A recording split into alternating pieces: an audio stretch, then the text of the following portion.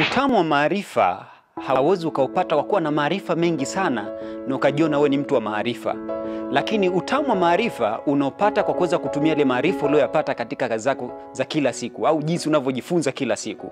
Nikwambie kitu kimoja, kuna watu wengi sana ambao wamesoma vitabu vingi sana, kuna watu wengi sana ambao wamehudhuria semina nyingi sana, na mwisho wa siku hakuna kitu walichoweza kukifanya, kwa sababu wanadhani kuwa na maarifa mengi sana ni kufanikiwa. Hapana, hata siku moja. Kuwa na maarifa mengi bila kuyatumia yatakufanya uendelee kubaki kwa katika hali ya chini mpaka pale utakapoamua kuweza kuchukulia uh, hatua.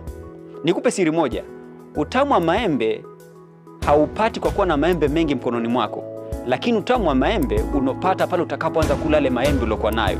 Na wewe leo hii unatakiwa ujifunze kwamba utamu wa maarifa sio kuwa na maarifa mengi tu kuyashikilia na ukajulikana na maarifa mengi, lakini utamu wa maarifa unaanza kuupata pale utakapoanza kutumia yale maarifa uliyopata katika sehemu tofauti katika maisha yako na katika shughuli zako za kila siku ambazo zinakufanya uweze kuchota maarifa yanayokusaidia katika maisha yako.